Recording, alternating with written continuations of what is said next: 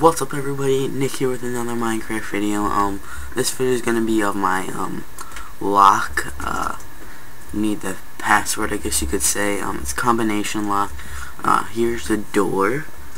Um, it could be, it's not to anything right now, as you can see, there's nothing behind it, but you could put it to like a secret chest area or a secret part in your house, anything you want.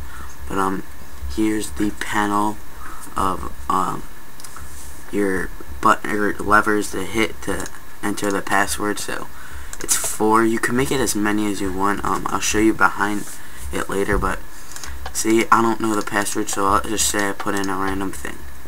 It won't open. But um but if I know the password obviously and it's this one this one this one this one. Now as you can see it opened up and I can put whatever I want back here. You could also put all the redstone underground if you wanted to, or out of the way, but since this is, I'm going to show you how it works, I'm just going to leave it open so it's easier to tell you guys. But as you can see, as soon as I mess it up, it will go back. If I put it in, there it opens. If I put an extra one by accident, it should, oh wait, actually my bad. It will stay open because this is not connected to anything. Um, I could fix that later, but it's not too much. But if I turn one off, it'll close. My bad there. So to lock it, basically, just switch them all back up. But um, basically how this work is, is how this works is three AND gates pretty much, and then it, the signals inverted. So it starts out as just inverted so that this is closed, not open. And when you put the right levers in. Oh, my bad. When I put hit a lever, it will turn on the um signal and turn off one of these. And basically, um, if you don't know what an AND gate is, I'll show you real quick. Um, they're really simple to build. You just take th three blocks, put a torch right there, there, and then your output here, and put a piece of redstone right on top, and this one will turn off. That's what you want and the inputs you want to put here. And um basically when there's an input to both of these the output will turn on. So that's uh, called an AND gate but um you don't need to do it like this. You could have it from two separate places.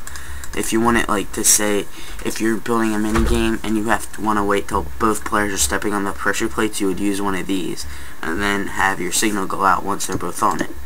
So um they're very simple to make but um, basically, you can just keep viewing them like this.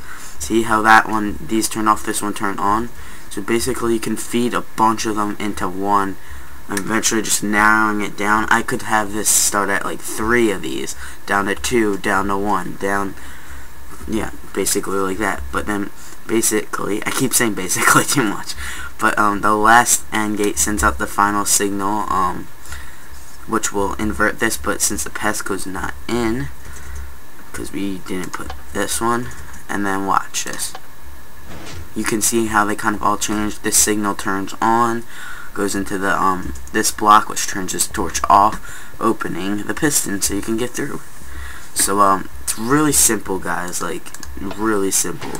Um it's not complicated at all. Um doesn't use a lot of resources. You can make it let's say I only want it to make it like two. You can make it as many as you want you can make it two of these. So if I want to make it two of these, I would just pretty much have to, instead of feeding into this one, I could make it go directly into there. And then it would only need these two.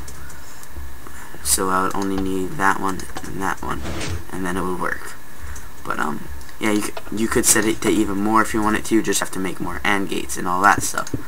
So, very simple redstone. Um, please rate the video if you enjoyed uh, share with anyone that might enjoy it um, yeah let me know in the comments how what you thought about this and uh, suggestions for any other redstone contraptions.